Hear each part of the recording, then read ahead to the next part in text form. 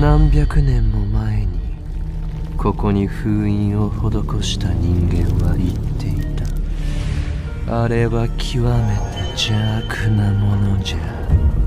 綺麗な水を生臭い血。に美酒をドブ水に変えてしまうその上月を赤く染め。死者を蘇らせてあやかしにするのじゃ。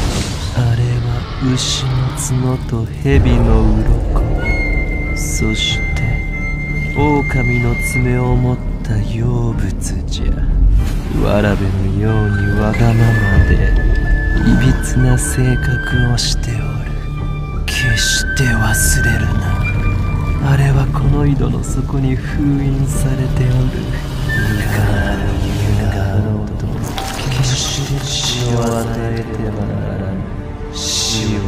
づけることも忌ましいその名を呼ぶことも決して許されぬ芝居がかった言い回しで邪神は井戸の底を覗く。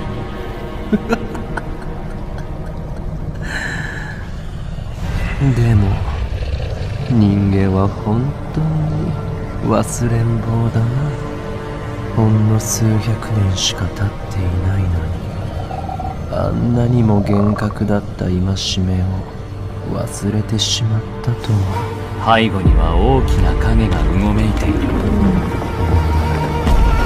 すべきことも忘れてはいけない井戸の底から。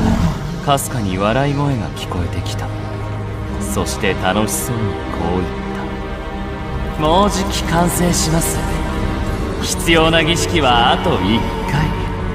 完成した暁にはこの世界の水も血も全てあなた様に捧げます。